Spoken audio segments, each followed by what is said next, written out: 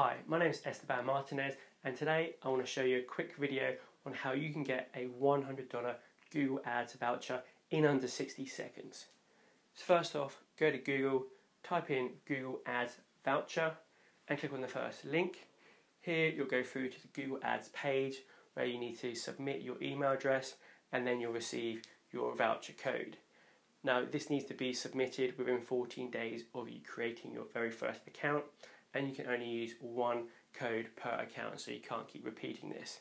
So that's it, simple as that. If you want to learn more on how to increase your traffic, sales and revenue Google Ads, subscribe to this channel. Please leave a like if you enjoyed this video and you saved yourself $100. My name is Esteban and I'll catch you in the next video.